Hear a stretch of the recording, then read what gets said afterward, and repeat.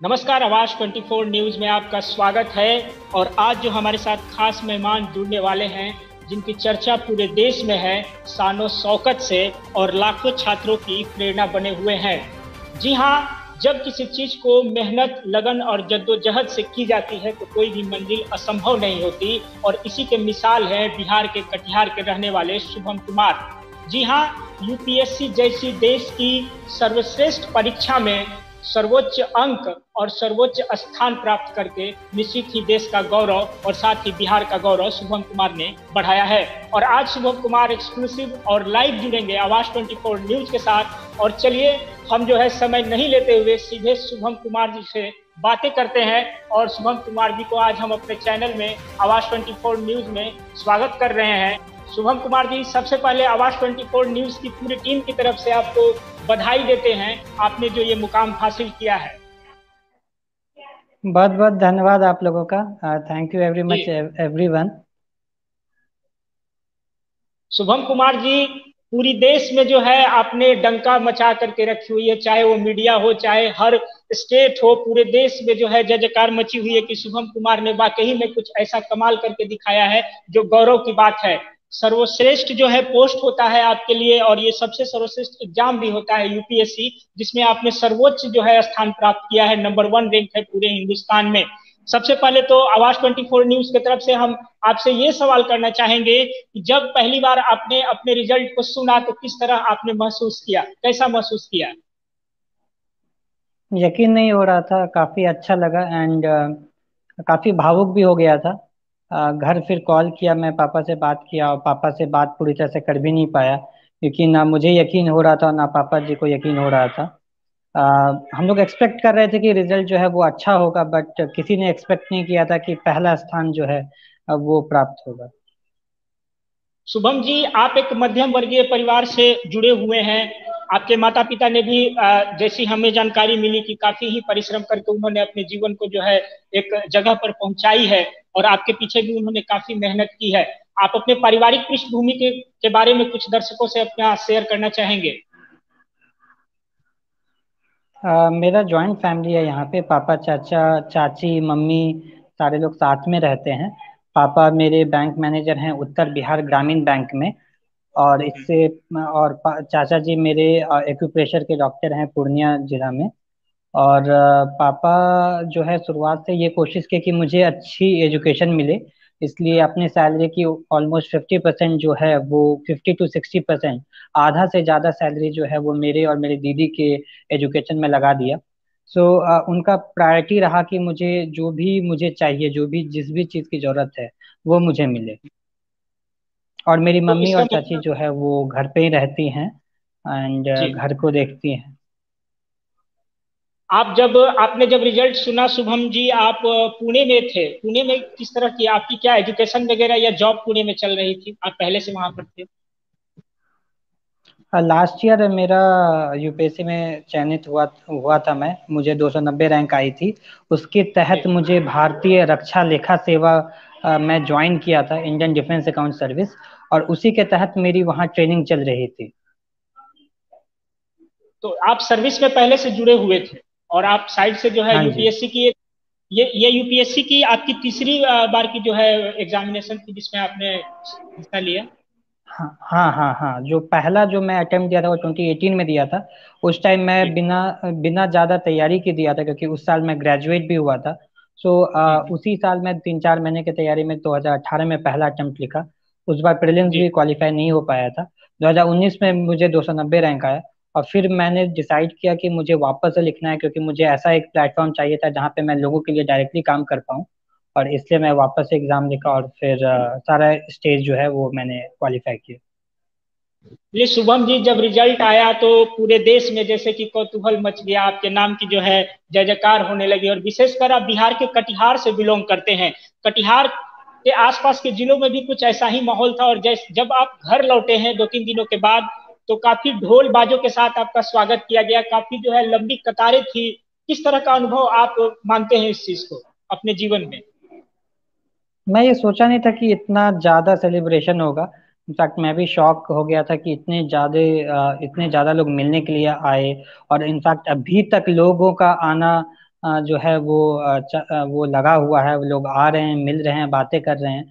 In fact मैं कोशिश कर रहा हूँ कि उनसे मैं थोड़ा सोशल डिस्टेंसिंग मेंटेन करूँ मास्क वगैरह पहनूँ, जो भी लोग आ रहे हैं, उनको मास्क दिया जा रहा है यहाँ पे। उनको सैनिटाइज उनका हाथ जो है वो सैनिटाइज करवा रहे हैं।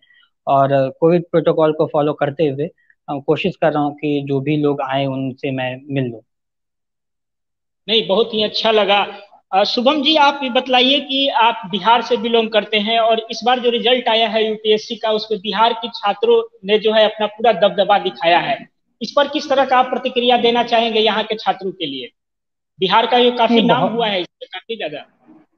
नहीं बहुत अच्छी बात है कि टॉप टेन में तीन जो टॉपर हैं वो बिहार के ही हैं और इनफैक्ट बीच में थोड़ा बिहार से सिलेक्शन कम हुआ था लेकिन लास्ट ईयर से थोड़ा देखा गया कि बिहार से भी सिलेक्शन अब इंक्रीज हुआ है।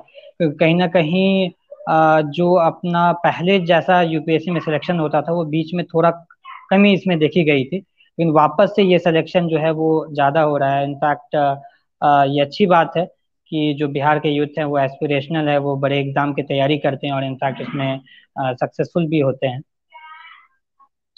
लोगों ने टेलीविज़न में आपका इंटरव्यूज़ देखा और आवाज़ 24 के माध्यम से भी देखेंगे।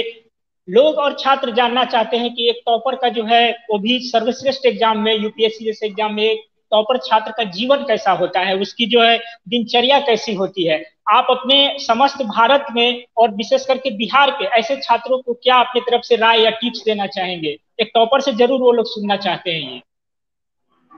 जिन दिनचर्या जो था वो एकदम सामान्य था। मैं राजेंद्र नगर में दिल्ली में रह रहा था स्टार्ट के दो साल। और वहाँ पे मॉर्निंग में उठता था, फिर बाहर जाता था, घूमता था, वहाँ पे ब्रेकफास्ट करता था, फिर एक न्यूज़पेपर वहाँ से खरीदता था और फिर न्यूज़पेपर दो घंटे पढ़ा। फिर जो हमने जो टारगेट रखा है कि ये पढ़ना है, वो बुक्स वो वहाँ पे पढ़ते थे। फिर जो है वो टेस्ट वगैरह अगर लगाना होता तो टेस्ट लगाते थे, दोस्तों के साथ मिलकर डिस्कशन भी करते थे। और जब प्रीलिम्स और मेंस के बीच का जो टाइम था उसमें मैंने स्टडी रूम ज्वाइन किया हुआ था तो वहाँ पे जाते थे एक टाइम पे। फिर एक टाइम तक चार पाँच घंटे पढ़, पढ़ाई करते थे फिर बाहर खाने के लिए निकलते थे फिर जाते थे फिर पढ़ाई करते थे। तो ये दिनचर्या रहता था मिला जुला के और दोस्तों के साथ डिस्कशन भी होता था। फिर रात के टाइम पे घर पे बात करना हुआ वीडियो कॉल पे मम्मी से बात करना हुआ पापा से बात करना हुआ ताकि एक स्ट्रांग जो है वो मोटिवेशन बना रहे और पॉजिटिविटी ओवरऑल रहे। सो ये मैं कोशिश किया कि मैं घर से भी जुड़ा रहूँ हमेशा बात करते रहूँ जो भी प्रॉब्लम आ रही है वो घर पे बताऊँ और अच्छे लोगों के साथ रहूँ और लिमिटेड लोगों के साथ रहूँ और एक प्रॉपर जो है मेरा जो है वो प्लान होना चाहिए। क्या पढ़ना है कितने देर के, के लिए पढ़ना है वो थोड़ा मैं डिसाइड करके रखता था। तो आप जैसे कि यूपीएससी ही नहीं जो भी ऐसे एग्ज़ाम है जो कि जिनको हम सर्वश्रेष्ठ मान सकते हैं आप ऐसे छात्रों को मुख्य रूप से क्या कुछ टिप्स देंगे कि वो किस तरह से अपनी पढ़ाई को आगे लेके चले, इस तरह के एग्ज़ाम को फेस करने के लिए, इस तरह की मंजिल को हासिल करने के लिए?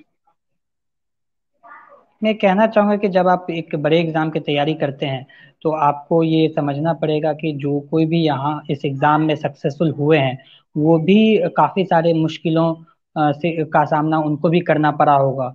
उन्हें भी हर हर तरह के इमोशन से गुजरना पड़ा होगा वो भी अप्स एंड डाउन्स देखे होंगे।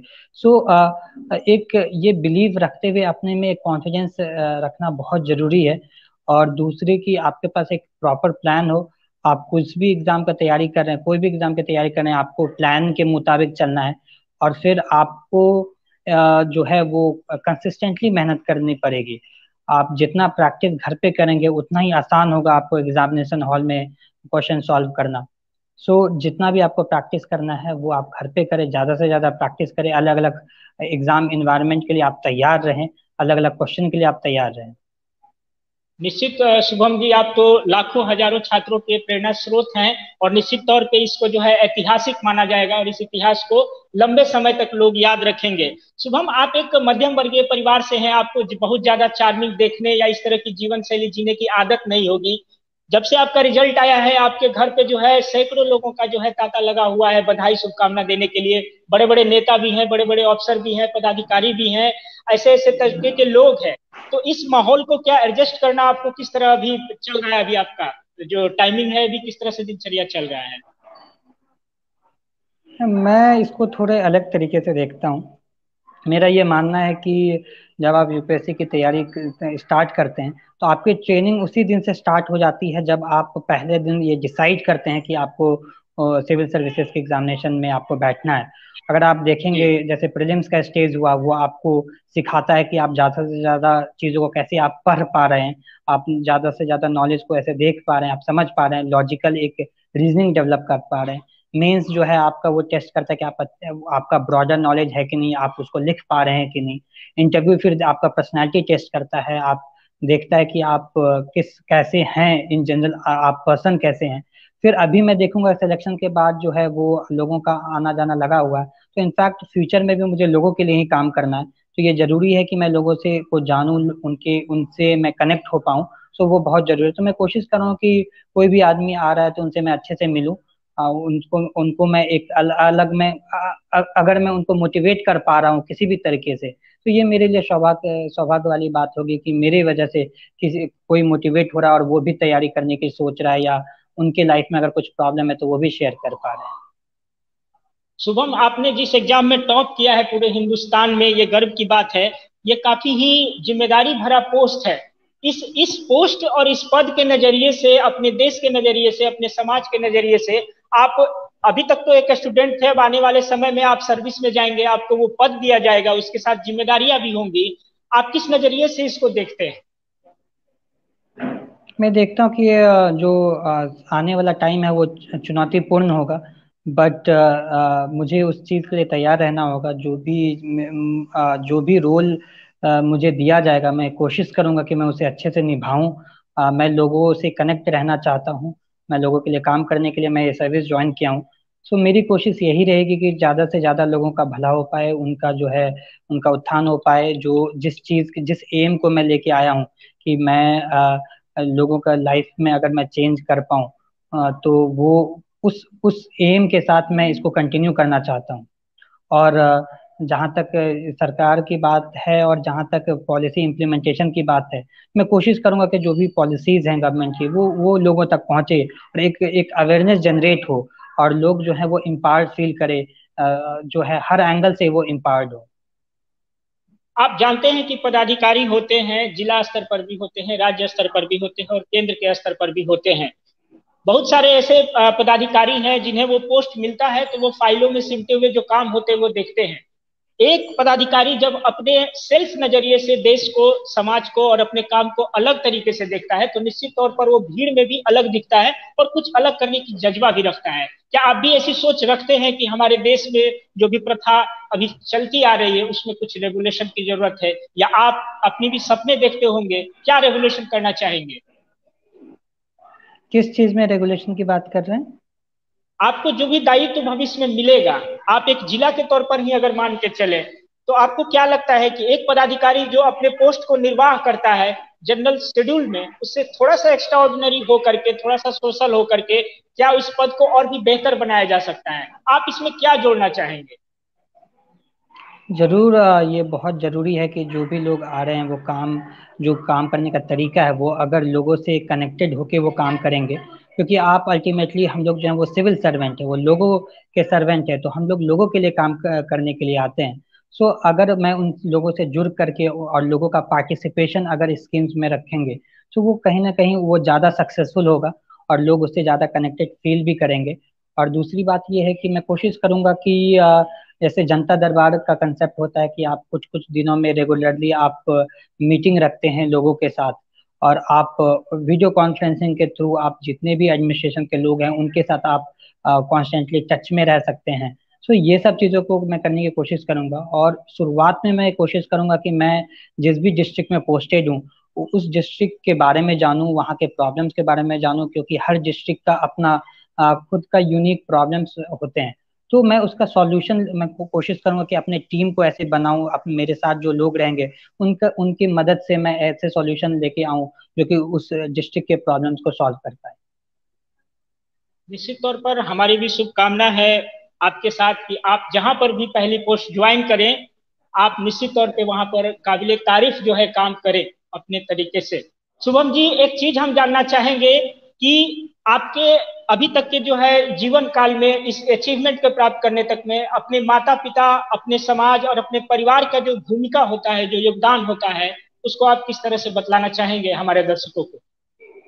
ये बहुत बड़ा योगदान है मेरे परिवार वालों का। इनफैक्ट बस माता पिता का नहीं, मेरे चाचा चाची का उतना ही योगदान है। मैं अपने पापा से हमेशा टच में रहता था। हर दिन मैं, अगर मेरी बात मम्मी से नहीं होती थी तो मम्मी सो नहीं पाती थी तो हर दिन मैं मम्मी से बात करता था। और पापा जो है वो मुझे हमेशा से पॉजिटिवली मोटिवेट करते रहे, मुझमें हमेशा विश्वास दिलाया, मुझमें हमेशा विश्वास रखे और, अगर मुझे ऐसा कभी नहीं लगा कि अगर मैं फेल करता हूँ तो मेरे परिवार वाले मेरे साथ नहीं रहेंगे। मुझे हमेशा से ये लगा कि मेरे परिवार वाले मेरे साथ में है। तो अगर इस एग्ज़ाम में अगर असफलता भी मिलेगी तो भी मेरे परिवार वाले जो है मुझे सपोर्ट करेंगे। तो इसलिए इस वजह से मैं अपने आप को बहुत फ्री महसूस कर पा रहा था पूरे अपने प्रिपरेशन में। और हर स्टेज पे मेरे परिवार वाले जो हैं वो काफ़ी मतलब एक तरह से एक शील्ड के तरह रहे और एक बहुत बड़ा सपोर्ट मुझे मिला। आपने को एक या दो दिन पहले एक आपका वीडियो काफ़ी ही चर्चित रहा आपने अपनी मातृभाषा मैथिली में बात की और लोगों ने काफ़ी तहे दिल से उसे पसंद किया। ये भी एक मिट्टी से जुड़ाव और एक हाँ खुशबू होती है। क्या कहना चाहेंगे अपने मिथिलांचल वासियों के लिए? मैं कहना चाहूँगा कि बहुत ज़रूरी है कि आप अपने मातृभूमि से जुड़े रहें, क्योंकि वहीं से आप जो है वो आते हैं, आप वहीं से बड़े होते हैं। और अपने कल्चर, अपने हेरिटेज को जो है उस पर आपको गर्व गर्वान्वित महसूस करना चाहिए, आपको उस पर गर्व होना चाहिए। और आप जो भी लैंग्वेज बोल रहे हैं, जैसा भी आपका कल्चर है, उसको आप रेस्पेक्ट भी करें और कहीं से भी आपको ऐसा नहीं लगना चाहिए कि आप जो हैं वो छोटे हैं या आप कोई और आदमी आपसे बड़ा हो गया अगर वो कुछ और बोल रहा है कुछ और आ, आ, कुछ और पहन रहा है। आप हमेशा से अगर आप अपने कल्चर को लेकर के आप प्राउड फील करेंगे तो आप अपना हंड्रेड परसेंट हर चीज़ में दे पाएँगे। सो so, मैं as a Bihari as a Mithilanchal area में रहता हूँ लेकिन मैं हमेशा से मैं बाहर भी गया तो मुझे ये हमेशा से प्राउड फील हुआ कि मैं इस धरती का हूँ मैं ये यहाँ का हूँ। और मुझे कहीं से भी ये निगेटिव वाली फीलिंग कभी नहीं आई कि मैं क्यों बिहार से हूँ या मैं क्यों वहाँ से हूँ। निश्चित तौर पर शुभम, आपने पूरे बिहार को प्राउड फील कराया है, हालाँकि पूरे देश को भी प्राउड फील कराया है। अंत में आवाज़ 24 न्यूज़ के दर्शकों के लिए और विशेषकर उन युवा छात्रों के लिए आवाज़ 24 न्यूज़ के माध्यम से क्या संदेश देना चाहेंगे? शुभम जी यह आखिरी सवाल है हमारा। मैं ये कहना चाहूँगा कि आप अपना जो एम है वो वो बहुत हाई रखें, वो बड़ा सोचिए, एक बड़ा सपने लेके आइए और फिर जब आप एक अच्छा सपना देखते हैं तो उस उस सपने को साकार करने के लिए आप उसमें पूरा जो है अपना जान लगा दें क्योंकि तीन चार साल का मेहनत होता है और इससे आपका जो है वो लाइफ डिसाइड होता है। सो आई थिंक कि अगर आप इस चीज़ समझेंगे कि ये आपके लिए जो टाइम है वो बहुत क्रूशियल है और आप इस टाइम में आप जो है वो कुछ भी चीज़ जो अचीव करना चाहते हैं वो बन सकते हैं। तो आप इसको अच्छे से यूटिलाइज भी करेंगे। और ये मैं कहना चाहूँगा, सफलता और असफलता ये जो है वो ज़िंदगी का पार्ट है। अगर आपको किसी कारणवश अगर असफल हुए हैं तो आप हिम्मत रखिए, आप हिम्मत मत हारिए और आप किसी कोई नए चीज़ के लिए फिर से कोशिश करें। कोशिश हमेशा करते रहें, अच्छे से प्लान करें छोटी छोटी टारगेट्स रखें, फिर उसको अचीव करें। तो इस वजह से, इस तरीके से अगर आप ऐसे सोच रखेंगे और इस तरीके से अगर आप प्लानिंग करेंगे तो आप भी हर ज़िंदगी में हर मुकाम को आप भी अचीव करेंगे। निश्चित तौर पे शुभम, जो आपने बातें कही, वो माइलस्टोन है और निश्चित हम भी ये कहेंगे कि सपने देखना मत छोड़िए, सपने देखिए, बड़े देखिए, लेकिन उसके साथ साथ अपनी ईमानदारी, मेहनत और लगनशीलता से उस सपने को पूरा करने के राह पर आप चले, तभी शायद आप उस सपने को ज़रूर प्राप्त कर पाएँगे, क्योंकि तो शुभम कुमार ने इसी चीज़ को साबित किया है और निश्चित तौर पर यह बहुत ही बड़ा आने वाले भविष्य में ऐतिहासिक होगा कि शुभम कुमार का जो है नाम लिखा जाएगा। और हम शुभम कुमार आपको मैं इसके साथ एक एक चीज़ ऐड करना चाहूँगा। जी ज़रूर। मैं कहना चाहूँगा कि अभी कोरोना जो है वो खत्म नहीं हुआ है। तो मैं लोगों से आग्रह करूँगा कि वो सोशल डिस्टेंसिंग जो है मेंटेन रखें। कोविड के जो प्रोटोकॉल्स हैं लाइक मास्क पहनना सैनिटाइजर यूज़ करना वो यूज़ करें। और जब आपका जो सेकेंड डोज का अगर टाइम आता है, जो टीका का जो सेकेंड डोज का अगर आता है तो आप उसे जल्दी से जल्दी ले प्रायोरिटी बेसिस पे ले। क्योंकि अगर आप जल्दी से जल्दी टीका लेंगे तो आपके आसपास वाले लोग भी जो है, वो सुरक्षित रहेंगे, आप भी सुरक्षित रहेंगे। तो मैं ये आग्रह करूँगा सारे लोगों से कि आप जल्दी से जल्दी जो है, वो टीका जो है, वो लगवाएँ। क्योंकि मैं भी जो है वो कुछ दिन पहले मैं सेकेंड डोज लगवाया। जिस दिन मेरा चौरासी दिन पूरा हुआ था, उस दिन मैं जाके सेकेंड डोज लगवाया। मैं कुछ मैं आग्रह करूँगा कि सारे लोग जो है, वो जल्दी से जल्दी सेकेंड डोज जो है, वो ले। निश्चित तौर पे आवाज़ 24 न्यूज़ के दर्शकों से जैसा कि शुभम कुमार जी ने अपील किया है कि आप वैक्सीन ज़रूर लें तो निश्चित तौर पर हम भी अपील करते हैं कि आप वैक्सीन ज़रूर लें। शुभम कुमार, आपने अपने व्यस्त जो है दिनचर्या में से आवाज़ 24 न्यूज़ के लिए समय निकाला। इसके लिए हम आपको धन्यवाद देते हैं और आपके आने वाले उज्जवल भविष्य के लिए, आपके उस नए दायित्व के लिए हम शुभकामना देते हैं और बधाई देते हैं कि आपका जीवन निश्चित उज्जवल हो और समाज में आप एक अच्छे पोस्ट पर जा करके अपनी बातों को, अपनी काम के तरीकों से निश्चित तौर पर अपने देश और राज्य में मिसाल पेश कर सकें। नमस्कार शुभम कुमार। बहुत बहुत धन्यवाद आपका। नमस्कार। आपको भी थैंक यू तो ये थे शुभम कुमार जो